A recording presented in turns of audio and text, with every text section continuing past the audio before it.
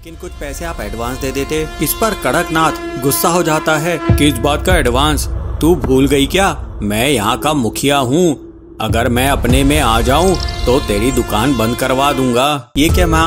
आप उस मुखिया से क्यों डर गई? हम अपनी मेहनत के ही पैसे उससे मांग रहे थे। ऊपर से वो हमें धमका कर चला गया। प्याज ले लो प्याज। ताजे ताजे प्याज। एक पहाड़ी जंगल में पीलू चिड़िया अपनी माँ बबली के साथ रहा करती थी।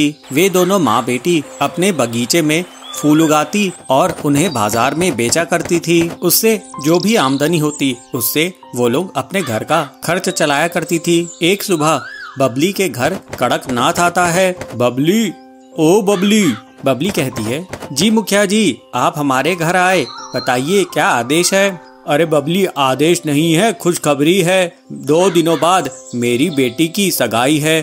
तू मेरे घर फूल भिजवा देना, गुलाब और चमेली और जो भी अच्छे फूल हो, वो तू मेरे घर भिजवा देना। बबली कहती है, ये तो बहुत अच्छी खुशखबरी की बात है मुखिया जी, लेकिन कुछ पैसे आप एडवांस दे देते। इस पर कड़कनाथ गुस्सा हो जाता है और बबली को धमकी देता है। एडवांस? किस बात का एडवांस? तू भूल गई क्या? मैं यहाँ का मुखिया हूँ।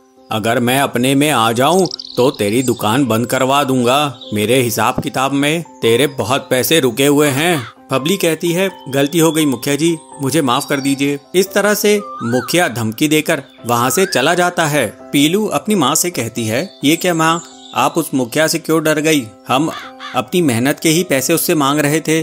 ऊपर से वो हमें धमका कर चला गया। जाने दे बेटी, तेरे पिताजी ने इससे कभी उधार लिए थे। हम उस उधार को अभी तक चुका नहीं पाए हैं। बल्कि मैं तो सोच रही हूँ, इसके ऑर्डर के बाद मैं फूलों का धंधा ही बंद कर दूँ। पीलू कहती है, लेकिन माँ, अगर हम फूल नहीं उगाएँगे और उसे नहीं बेचेंगे तो घर कैसे चलेगा? बबली तो क्या करूँ बेटी? मुझे तो कोई दूसरा उपाय भी नहीं सोच, सूझ रहा है। चल, इन बातों को छोड़। चल अब चलकर फूलों को तोड़ते हैं और बाज़ार में बेचने के लिए चलते हैं। दोनों माँ बेटी अपनी मेहनत से फूल उगाती थी और बाज़ार में बेचकर आती थी। इस तरह से कुछ दिन बीत जाते हैं। ऐसे ही एक दिन हरिया काका बबली की दुकान पर आते हैं और कहते हैं, बबली, तुम्हारा आजकल फूलों का व्यापार कैसा चल रहा है? लोग बाग खरीदारी कर रहे हैं कि नहीं? ये देखो, मैं फूलों की नई प्रजाति के बीज लेकर आया हूँ।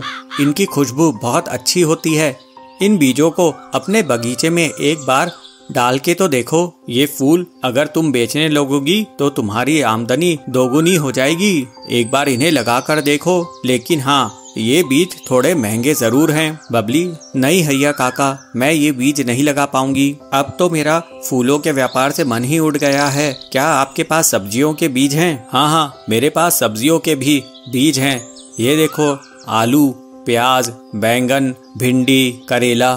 तुम्हें क्या चाहिए, ये बताओ। पीलू कहती है, काका, आप हमें प्याज के बीज दे दीजिए। हम प्याज की खेती किया करेंगे। ये ले पीलू, ये हैं प्याज के बीज। ये नए किस्म के हैं, इसमें बहुत जल्दी प्याज उगाते हैं। फिर पीलू के कहने पर, बबली, प्याज के बीज खरीद लेती है। अपने बगीचे में बबली पीलू से कहती है, बेटी, तूने प्याज के बीज लेकर बहुत अच्छा करी, क्योंकि ये हर सीज़न में हर कोई खाता ही है। पीलू कहती है हाँ माँ, प्याज सेहत के लिए भी अच्छा होता है।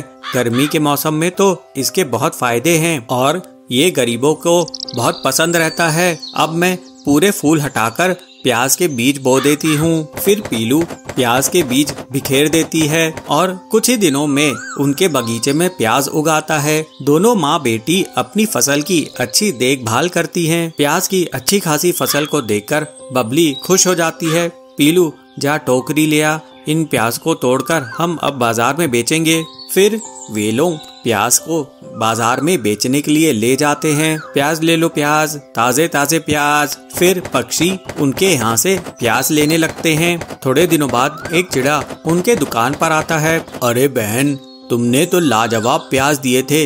ऐसे प्याज तो मेरे रेस्टोरेंट में हिट हो गए हैं। अब तो लोग सिर्फ़ प्याज की ही सब्ज़ी खाते हैं। एक काम करो, मुझे आप एक बोरी प्याज भरकर दे दो। मैं रोज आपसे एक बोरी प्याज लेकर जाया करूँगा। इस तरह से प्याज के इतने बड़े ऑर्डर से दोनों माँ बेटी बहुत खुश हो जाते हैं और अब वे लोग प्याज को ही बेचने लगते हैं। कुछ दिनों बाद उनके पास इतने पैसे आ जाते हैं कि वो कड़कनाथ के पूरी उधारी चुका सके और अपना जीवन हँसी खुशी बिताने लगते हैं।